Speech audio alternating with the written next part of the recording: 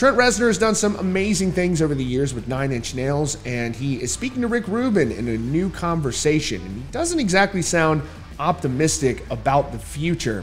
The last new music we got from Nine Inch Nails came out back in 2020, and he doesn't see that happening anytime soon, nor does he see tour dates. And he talks about how people don't really focus on music anymore. He feels like it's been significantly devalued, which I tend to agree with. And now he says that a lot of people just tend to do this as background music and they don't sit down and focus on records anymore. And you get some insight into what's going on with Nine Inch Nails and when we might hear new music. The reality is, it doesn't sound like that's coming anytime soon. Here's more.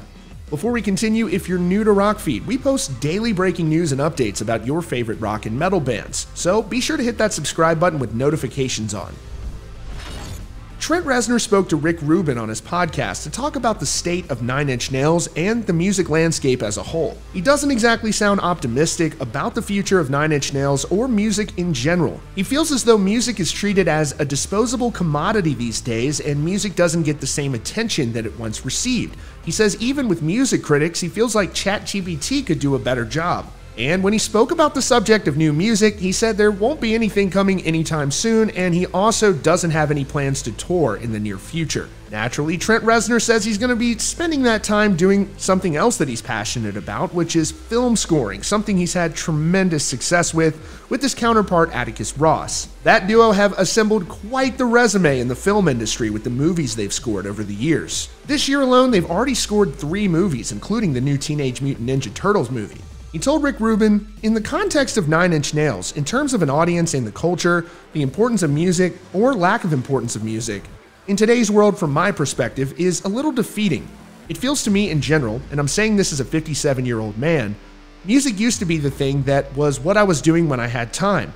I was listening to music. I wasn't doing it in the background while I was doing five other things and I wasn't treating it as kind of a disposable commodity. I miss the critical attention that music got. Not that I'm interested in the critic's opinion, but to send something out in the world and feel it gets touch places might have gotten a negative or positive review, but somebody heard it. It got validated in its own way culturally. Culturally, that feels askew. I can't think of any review that I care about today that I even trust. I could write it before it comes out because it's already written. In fact, ChatGPT could probably do a better job, you know, or is currently doing the job. That makes for what feels like a less fertile environment to put music into in the world of Nine Inch Nails. He says also it's been difficult for him to tour. He said, I don't want to be away from my kids. I don't want to miss their lives to go do a thing that I'm grateful to be able to do and I'm appreciative that you're here to see it, but I've done it a lot, you know? Reznor spoke about why it's special to him to make film scores. He said, Some of the excitement of composition in film has thrust me into places I wouldn't be with my band. It made me learn and be in awe of what music is and how powerful it is and how much there is to know about it and how much I don't know about it. And I'm in awe seeing these different ways it can affect you emotionally in techniques and sounds and soundscapes and things I don't think I would have ever come across on the typical trajectory of being in a band. And that's the thing for Trent Reznor. He's doing a number of different things now. He's really successful in film scoring, which I imagine is also pretty lucrative.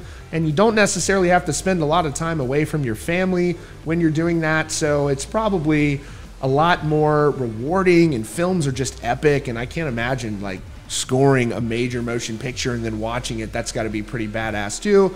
And he'll always be able to play Nine Inch Nail shows whenever he wants. But it does seem like he's kind of going back into film scoring mode, and I don't exactly blame him again because he and Atticus Ross do amazing work with that. And I remember, I don't know if this was the first film they did, but I remember the social networking movie um, about Mark Zuckerberg and stuff. And I know they scored that, and it was just really cool, and it added a you know an additional important layer to the film. So. Anyways, that's your latest update from Rockfeed. Be sure to subscribe with notifications on, and you can join the conversation over on the Rockfeed Instagram.